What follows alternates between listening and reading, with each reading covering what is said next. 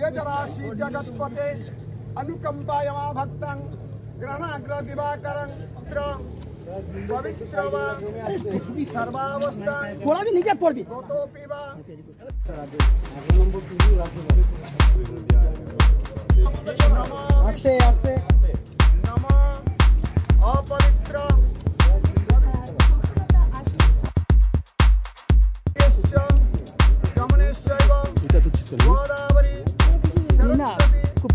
No, no, no.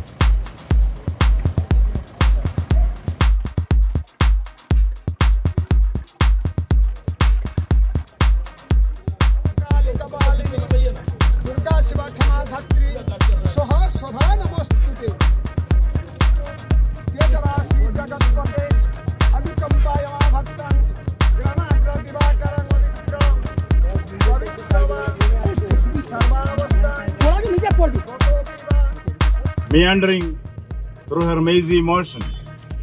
Mother Ganga is there to bless us every time, whenever we set out on something which is new, something which is great. India is all set to showcase its best before the world during the G20.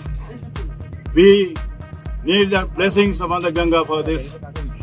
This Aarti is dedicated for that.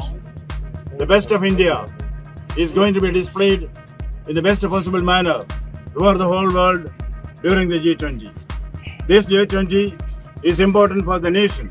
This G20 is very important for Bengal. What we are aspiring is a Nava Bharat, a Nava Bengal. This is going to be the beginning of that. We should unite together and seek the blessings of Mother Ganga and flow endlessly into prosperity like the Mother Ganga herself. That is the message of this.